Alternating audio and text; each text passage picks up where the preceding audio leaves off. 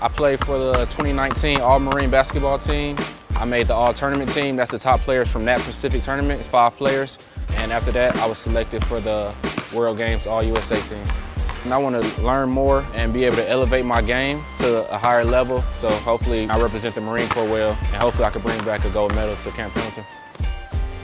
Uh, I swam in college, uh, and then, so before I joined the Marine Corps, I was a swimmer and been swimming for the most better part of my life. I swim uh, sprint freestyle and butterfly. Military World Games is the first time I've competed for swimming uh, since college. Uh, I'm just excited to represent uh, my country in the Marine Corps. Excited for the opportunity.